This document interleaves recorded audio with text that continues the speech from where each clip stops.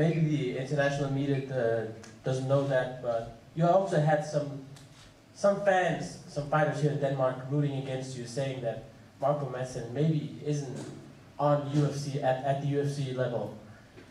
You proved them wrong tonight. How does that feel to silence the critics? Well, the same guys told me I was too old to do MMA. They told me I was too old to get into the UFC. I guess it's just a part of the sport. At last, uh, we asked the UFC uh, executive before, what's next for Mark O. Madsen? And he said, I don't know. We'll have to ask Mark. What does Mark want to do?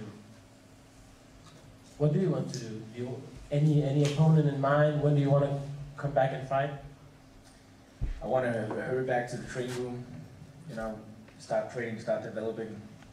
I'm roughly 19 months old in this sport, so I have a lot of lot of things I have to develop. So I'll get busy, grind my ass off, and then you know develop the best I can.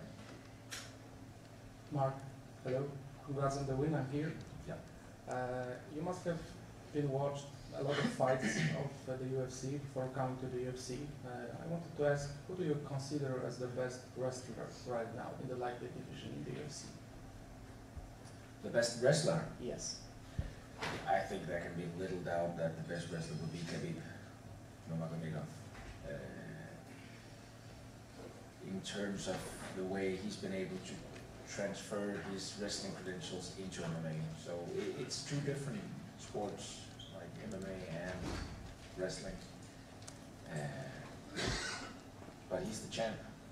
With 25, 20 fights less than Khabib, can you say you look up to him somehow as a guy who adapted his uh, great wrestling skills inside the octagon? Well, naturally, a guy like Khabib, uh, I can only aspire towards his achievement. He's done great in the sport of MMA.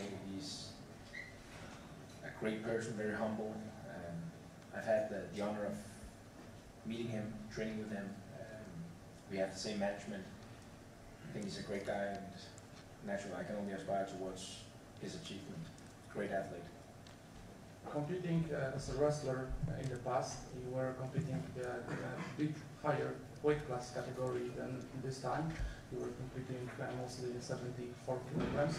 Uh, how does the weight cut issue is different between cutting down the weight to wrestling competition than the UFC fight, and how it went this time? Well, I had to put, put more work into the, the weight cut this time.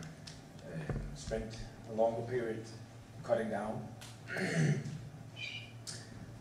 but I feel awesome. I think this is, this is the weight division I'll be uh, I'll be trying to establish myself in. So yeah, make a plan, follow that plan. We did that today, and I felt great. It's the first time in 18 years I've been this light.